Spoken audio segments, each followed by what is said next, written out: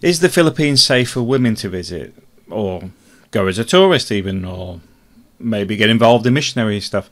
Fact is, I know several women that have been in the Philippines from childhood. Um, they've never had any problems in the Philippines. And to be honest, most of the stuff that happens to the guys is self inflicted or due to a lack of care about their own safeties. It's not normally random uh, which is why I say yes. The, the, there is no issue with women going to the Philippines to visit as a tourist. In fact, I would take my daughter to visit the Philippines uh, when she's old enough to travel.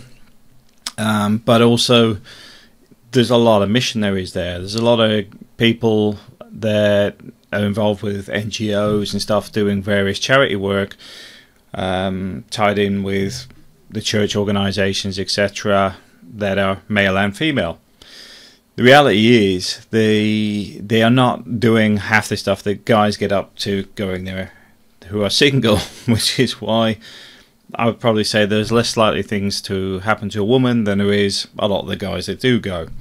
Um, so yeah, Philippines safe to travel, but also it's about pre-planning, knowing where you're going, who you're seeing, and you find Filipinos generally will try and take care of you. So if they know you're coming to the Philippines, they see it that you are their responsibility. So if they're saying, don't do this, don't do that, there's normally a reason behind it.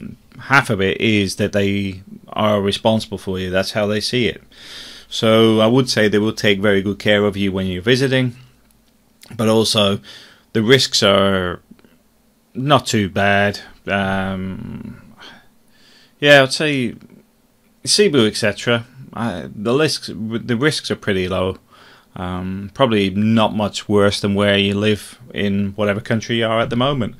Um, it's only don't go out about 3 a.m. and the usual stuff that can put you at risk.